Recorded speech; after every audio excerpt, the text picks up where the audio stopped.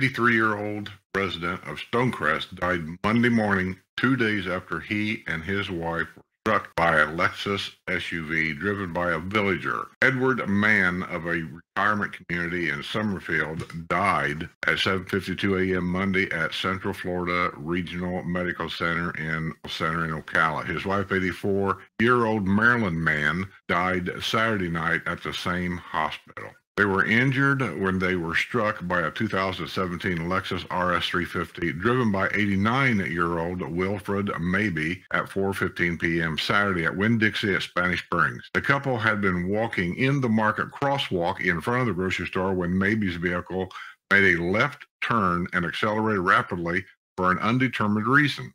His vehicle continued on and struck a flower bed. The investigation is continuing and no charges have been filed at this time. A village of Summerfield man was arrested after he was caught driving at a high rate of speed. Sean Howard Brennan, 49, who lives at 3225 Shelby Street, was driving a black Dodge Challenger at about 11:30 p.m. Saturday on U.S. Highway 27 and 441 when he was caught on radar traveling 72 miles an hour in a 45 mile an hour zone. During a traffic stop, a police officer discovered that the native New Yorker's driver's license had been suspended in 2020. The computer check also revealed that Brennan has seven previous convictions for driving while license suspended. Seven. And he just, they just keep letting him go. And it's eight. They let him go. And then it's nine. I don't get it. He was arrested on a felony charge of driving while license suspended. He was booked at the Lake County Jail and released again after posting a $2,000 bond. I just think the law should just get tough. I mean, really tough. A village of Della Vista North woman was arrested with a pair of drugs and a gun in her vehicle. Stephanie Nicole Williams, 37, who lives at 604 San Marino Drive, was at the wheel of a blue Toyota at about noon Saturday when she nearly caused an accident at Eagles Nest Road and Lake Unity Road, according to an arrest report from the Lake County Sheriff's Department. During a traffic stop, it was determined that she was driving on a suspended license and has been classified as habitual traffic offender.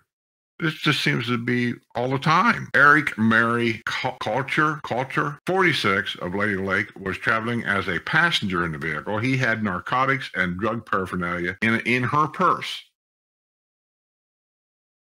Paul Eugene Hams, 48 of Bellevue, was in possession of a black Glock 26 9mm handgun with an extended magazine. He is a convicted felon. Well, back to jail you go. All three were taken into custody and booked at the Lake County Jail. Well, keep them. Just keep them there. They don't care. We don't care.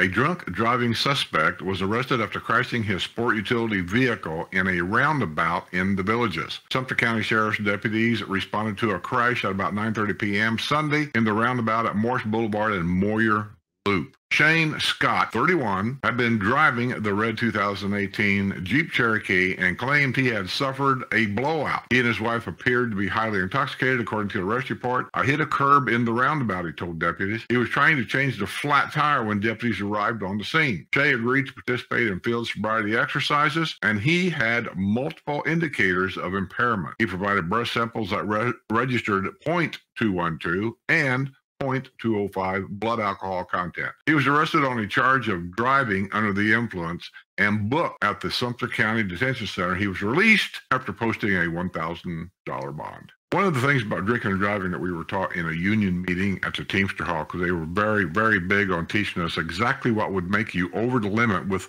CDL license. Those of you that don't know, if you if you're a holder of a CDL license, it's uh, half of whatever the state is that you're in for legally drunk, which is mostly like 0.08. For us with CDL license, it doesn't make any difference if you're driving a truck. If you hold a CDL license, it's 0.04. That is like you smell a beer, you're 0.04. They had a quart jar full of pennies, a quart jar full of pennies, and they use this as an example. That, th- that jar of pennies was your blood. They had a dime, one dime. He dropped it in a jar. He said, That is the alcohol you consume, that dime. Are you legally drunk?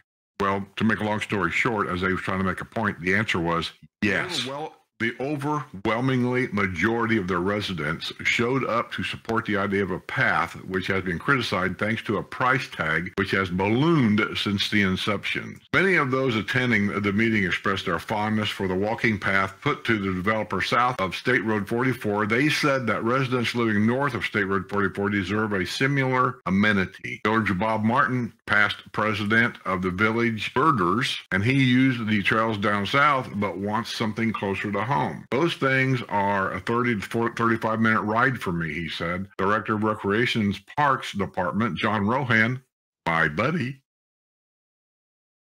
said at least 30,000 people per year are using the Fenney Natural Trails. Walking is a critical and paramount activity for residents who move to the villages, Rohan said. Sue Flowers of the village of Sunset Point, and she does not feel safe walking on the multimodal paths because many of the golf carts are not adhering to the 20 mile an hour speed limit. She said the street is not safe um, options either. We can walk on the street, but we've already had one person that I know of who has been killed while walking on the street. Flowers said in reference to 68 year old Joanne Marie Colonna of the village of Sunset Point, who died in 2018 after she was struck by a golf cart while out for a morning walk with friends. PWAC Chairman Don Wiley pointed out the rising cost of the project has raised eyebrows and unveiled a new nickname for the path, which would be only seven tenths of a mile long. Wiley called it the Million Dollar Mile. He reminded the audience that the purchase uh, of $352 million of amenities south of County Road 466 from the developer in 2016 came with the additional ongoing cost of upkeep for 23 golf courses, 69 pools, numerous recreation centers, postal stations, pickleball courts. That includes a recently approved $900,000 renovation of the Churchill Greens Executive Golf Course and a $300,000 roof replacement at Lake Miona Recreation Center.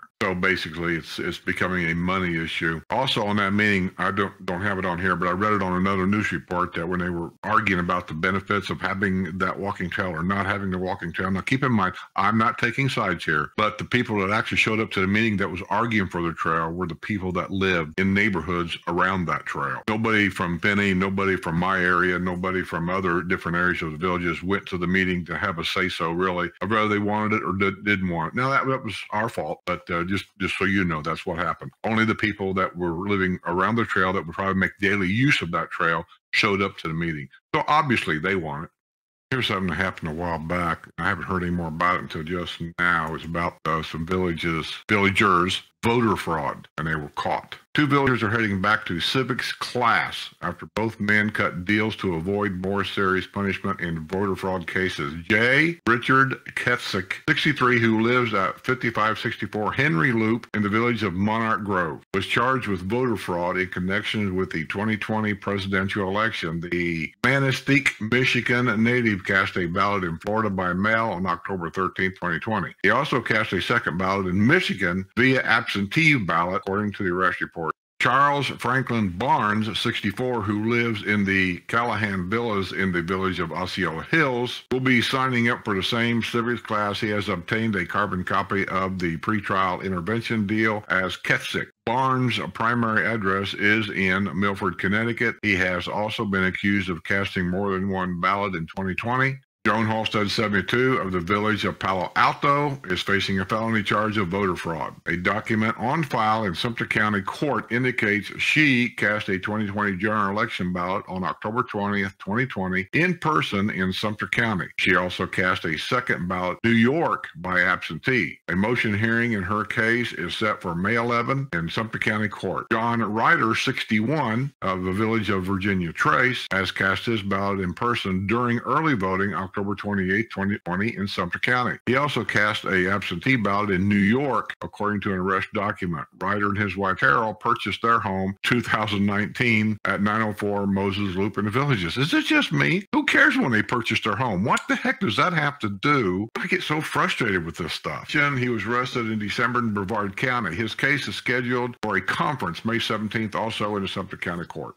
A villager has won permission to plant Florida-friendly landscaping to replace rock at his out-of-compliance rental villa. Victor Petrocelli has been ordered to remove decorative rock which was put down without approval from the Architectural Reviews Committee at his rental property located at 2075 Thornton Terrace in the Broyhill Villas in the village of Bonnybrook. Last month, representative for Petrocelli, who is reportedly struggling with health issues, appeared before the ARC in a bid to remove the rock and replace it with moss. That request was denied. Ann Smith, who is a friend of the representing Petrocelli, was back before the ARC on Wednesday morning. This time, her request was to put down perennial peanut. The perennial peanut is a variable ground cover that can be planted statewide and blooms all summer long with cheerful golden flowers, according to the University of Florida Extension Services. Some of the best features of perennial peanut are its resistance to nematodes, pathogens, and drought. Plus, it requires little fertilizer. Petrocelli peanuts will flower best when in full sun, but it can also be planted in partial shade. Well, that's good for me to know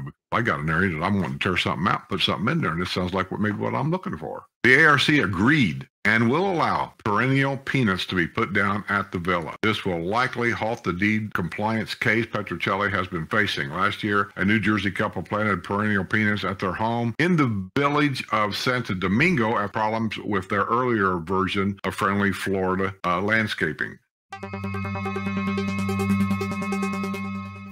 To the editor. I believe the Lake Miona walking trail will be an excellent use of funds for this area. The lake is beautiful, but currently you can only see a small portion of the lakes and the preserve. The current path there and now is about the only means to walk anywhere close to this side of the villages. So many people daily visit Lake Miona. It would be utilized continually. Let's not only develop the nice paths for the south end, but continue to improve the older sections too. That was sent in by Wallace, a village of Virginia Trace.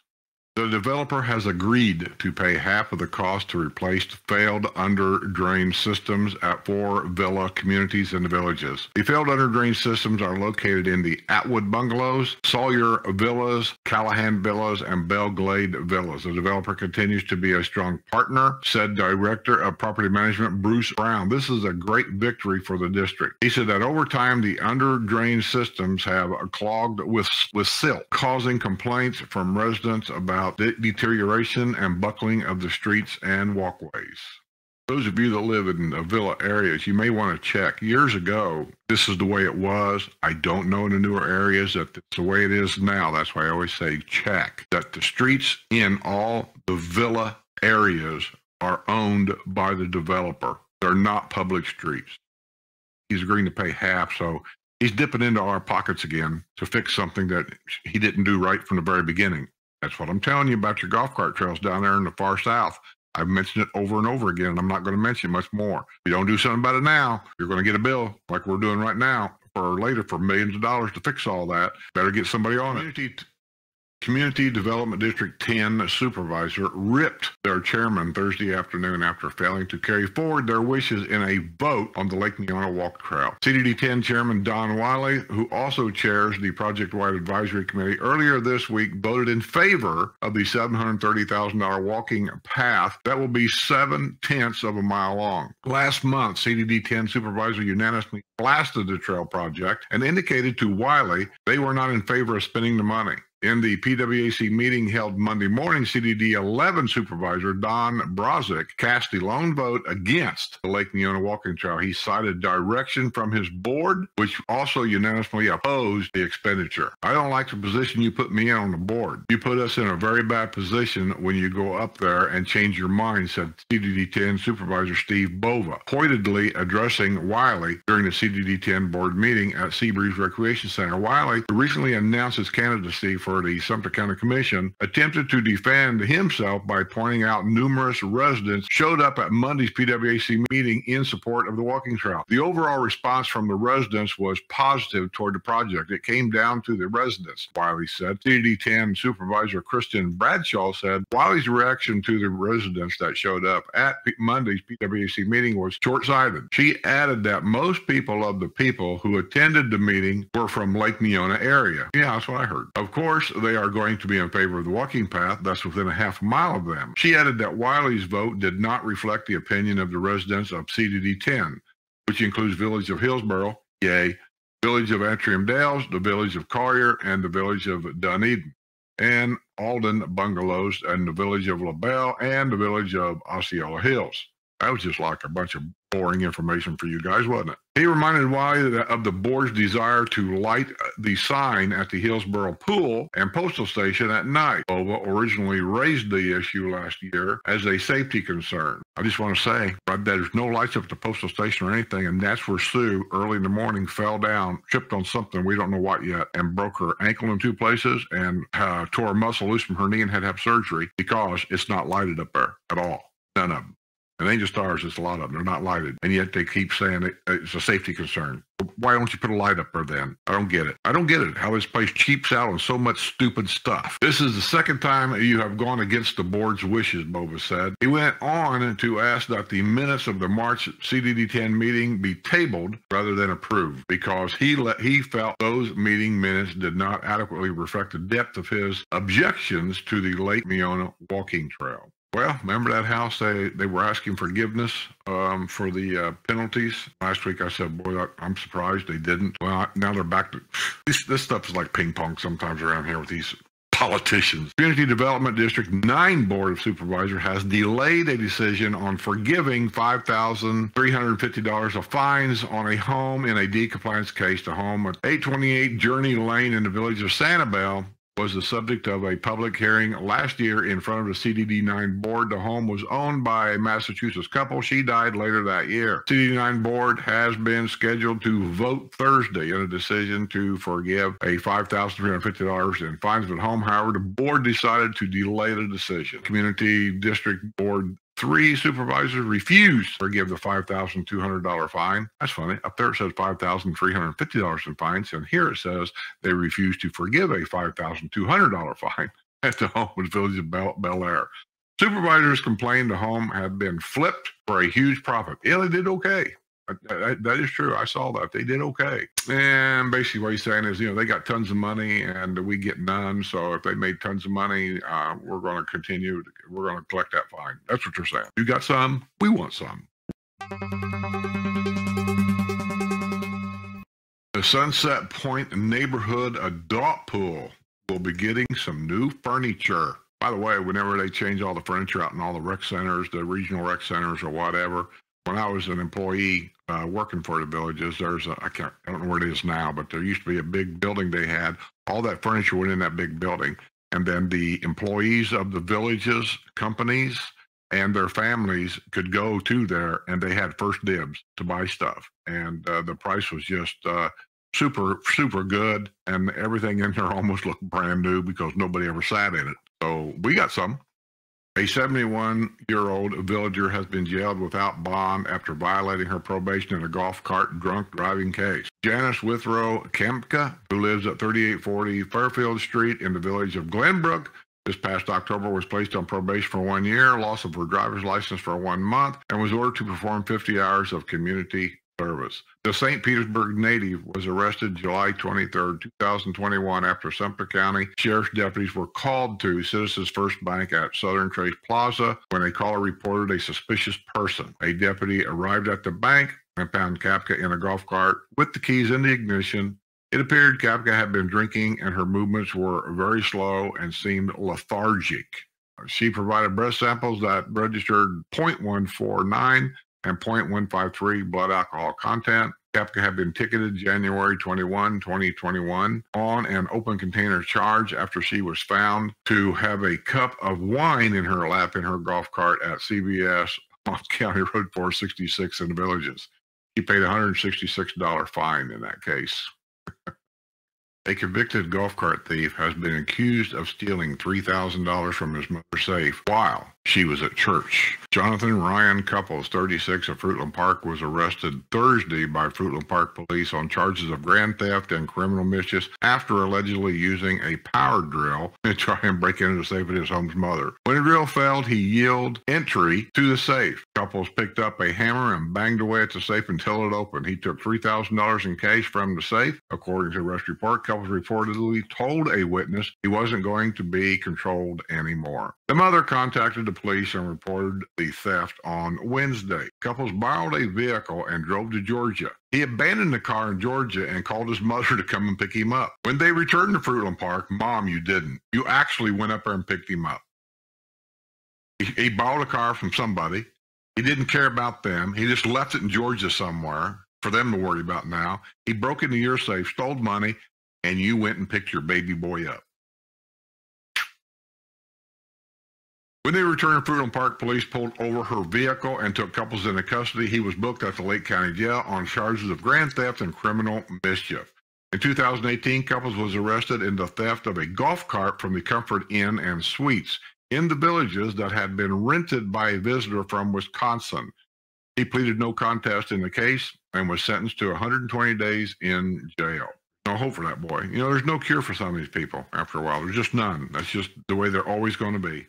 A Villages team from Glenview Tennis Center placed second in the USTA Adult 65 and Over 7.0 Men's Sectional Championship held in Orlando last week. Yay, rah! Good going. The team was part of the USTA Men's Competition Team League representing USTA Florida Region 2, Marion County. The league consists of three teams Fort King Tennis Center, Ocala, and two teams from Glenview. The Village's James team won the league with a 7 to 1 record, which qualified them for the sectional championships. The sectional championships there, six teams from various USTA Florida regions. The teams competing were Broward, Collier, Duval, Hillsborough, Pinellas, and the villages, uh, Marion.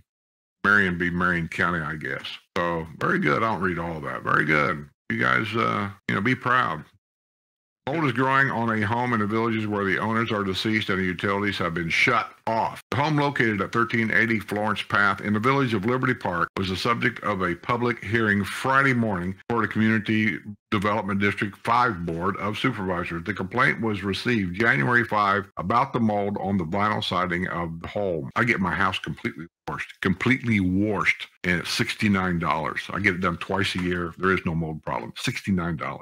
I am very sensitive to many residents that are getting past the point at which they have the capabilities to take care of something that invasive. The Garlicks purchased the home in 2006 for $244,800. They were the original owners. Community Standards noted that the Garlicks property is being maintained by a property preservation company. The company claimed a work order had been put in in March 25 However, when community standards checked the home this week, the work had not been performed. This happens, not just with them. This happens. If you're a snowbird, make sure you have a home watch company. I swear to you, you need a home watch company if you're not here six months out of the year. I know you got a guy hired that'll mow your grass. You got a guy hired that'll pick up the trash that's in your front yard, all this kind of stuff. Well, do they do it? You don't know that they do it. You just assume your neighbor will tell you. They might be on a two month long cruise. They're not even home hire a homeless person. That's the only person you can really depend on to keep an eye on your property when you're not here. CDD5 board voted to provide seven days for the property to be brought into compliance. If it is not brought into compliance, a $150 fine will be imposed to be followed by $50 daily fines until the property is brought into compliance. Elected officials in the villages are hailing steps being taken to end the fine forgiveness in deed compliance cases in Florida's friendliest hometown. Officials in Community Development District have been feeling the heat from residents unhappy with the forgiveness of thousands of dollars in fines on homes tied up in protracted deed compliance cases. Records show that in many cases the homes are sold at a substantial profit and the fines are simply forgiven. Last week, the Community Development District 3 Board of Supervisors refused to forgive a $5,200 fine at a home in the village of Bel Air. A woman who boasted she has the best lawyer in town has been entered a plea after allegedly expo- exposing herself at a church in the villages. Katie Nicole Cooey, 37, of Citra pleaded not guilty this past week at Lady Lake Court to charges of exposure of sexual organs and disorderly conduct. She remains free on $3,500 bond. She was involved in a car accident at about 2 a.m. March 19th, and her white Dodge Charger was found in a parking lot lot of St. George Episcopal Church. There were vehicle parts all over the roadway, according to the rescue report from Lady Lake Police Department. Cooey had her blue jeans, shorts, and underwear down to her ankles as she was urinating in the grass. She could not stand up without assistance and asked the police officer if he wanted to see her underwear. oh, these police guys, I swear, they could sit down and probably tell you stories for hours of things like this. I'd love to do it. Just talk to them for a while. Oh. She charged she charged at the police officer several times. When the officer attempted to handcuff her, she started to pull away. Well, that's always that's always a good thing to do. I have the best lawyer in town, she bragged. Middleman living near the villages of Fenney has gotten a break in the case involving the resale of stolen catalytic converters. Gerald John Johnson, 75 of 5115 Warren Springs Avenue in Wildwood, has been allowed to enter a, a pretrial intervention program that could enable him to avoid prosecution following his arrest last year on a felony charge of acting as an unregistered secondary metal recycler. The pretrial intervention contract requires him to enroll in the Thinking for a Change class and perform 25 hours of community service. A village of Calumet Grove man will lose his license for six months after blaming a possum for a Jeep crash in Florida's friendliest hometown. Enver Khan Goke, 30, who resides at 7782 Southeast 186 Lone Oak Loop, I've been driving the Jeep on December 12th when he crashed on Buena Vista Boulevard near the entrance to the village of Winifred. The vehicle was lying on its right side with both airbags deployed when the emergency personnel arrived on the scene, according to the arrest report of the Sumter County Sheriff's Office. Goke's hands, legs, and face were covered with blood due to a nose injury. He claimed a possum ran out of the road in front of him. Prior to the crash, Goke struggled through field sobriety exercises and provided breath samples that registered 1 uh, or 0.151 and 0.145 blood alcohol content. He was arrested and charging with driving under the influence. Last month in Sumter County Court, Goke pleaded no contest in the case.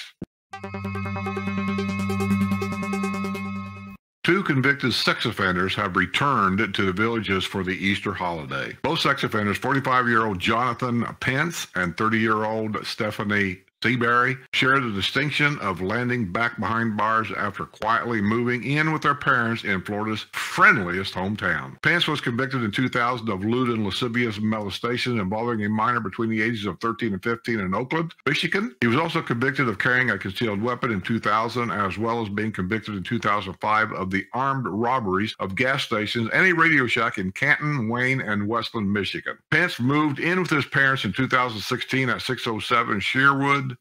Street in the village of Winifred. He was arrested in 2017 on a trio of probation violations. Pence spent a month and a half behind bars at Sumter County Detention Center. He later relocated to Jacksonville. Go back over there. We don't want you around here either. Past week, Pence notified law enforcement he has registered a temporary address with his parents here in the villages, according to Florida's Department of Law Enforcement. Thanks, Mom and Dad. Just thanks. Seabury likewise reportedly a temporary address last week at his home of his parents at 362 Alexa Lane in the village of LaBelle North. God. Seabury has been an English teacher at Fred Fifer III. I remember her. Sex with a student. Uh, middle school in Camden, Delaware, when she was arrested in 2014. She lived in an apartment complex in Dover, Delaware, where she had sex with a 13 year old student. Seabury's mother posted her $10,000 bond. Seabury, who has since relocated to Georgia, still faces a pending charge of violating her sex offender registration. She is scheduled to enter a plea in the case Tuesday in Sumter County Court. Easter is recognized as the peak of grandchildren's season in the villages with more youngsters here than any other time of the year. That's because of camp villages have a camp villages that that's sponsored here. And if you people haven't gotten the idea here what's going on, you better wise up. I'm telling you, these pictures should be taken and put in a locked, clear box up at every family pool, swimming pool, so that these faces can be seen. And if and if anybody sees these people in any of those pools, they should be calling the sheriff's department immediately to have them extricated. That's just my feeling, and I'm never going to change it unless somebody comes up with a better idea. About it, Rohan. About it, Mr. Rohan. Do you really care about the retirement people here and the grandchildren and the safety of everybody? Do you really? You let everybody walk in and out of the pools with no nobody checks. You say you do, but you don't. At the end of this news video, it's been a while, but we're at the end of the snowbird season, and there's a collection of um, bad parking villages. And I know you guys get a kick out of that. So um, at the end of the video, I'll, I'll put pictures of all the bad parking, and then you can guess, you know, what's wrong with that parking. So some people don't see it. you have to look sometimes twice, but all kinds of bad parking around here, especially during snowbirds. I'm not blaming snowbirds for all of it. Seem to think I do. I'm not. I'm saying it's drastically increased though that when snowbirds come down because they feel like, and a lot of visitors feel like this is Disney World and they can just do whatever they want, and you know they they, treat it that way man who allegedly stole $3,000 from his mother's safe while she was at church is also a suspect in ramming a pickup into the Fruitland Park City Hall. People, these guys and girls cannot be cured of this. They can't be treated. You got to put them away. Woman who has made it her mission find photos of Florida veterans killed in the Vietnam War gave an update on the Virtual Wall of Faces project to the John Bartram chapter of the Daughters of the Revolution at the group's latest meeting. The Virtual Wall of Faces project is dedicated to honoring and remembering each of the 58,000 plus fallen veterans whose names is inscribed on the Vietnam Veterans Memorial in Washington, D.C. Beth Braun, a resident of the Village and the DRA Chapter's 2019 Community Service Award winner, has been actively searching throughout Florida and neighboring states to obtain photos of the young soldiers from that war. She has located the photos of 777 of the 1,857 Florida victims of the war. Braun shared some of her experiences in contacting relatives, some 50 years after their loved ones have died. Some of the relatives searched for the photos and provided them. Many photos were received from newspaper obituaries, and many more came from high school yearbooks. She worked with school librarians, newspapers, and in many cases, cemeteries to find family members who might have a photo to add to the collection. Lake Miona sports pools will be closed with extended maintenance. Furniture replacement rescheduled for Sunset Point Adult Pool. Colony Cottage Recreation Center and Sports Pool will be closed. Chula Vista Recreation Center and Adult Pool will be closed. Okay, that's going to be it. Don't forget, coming up next is going to be the village's bad parking. Hope you enjoy. Don't leave your keys in the golf cart.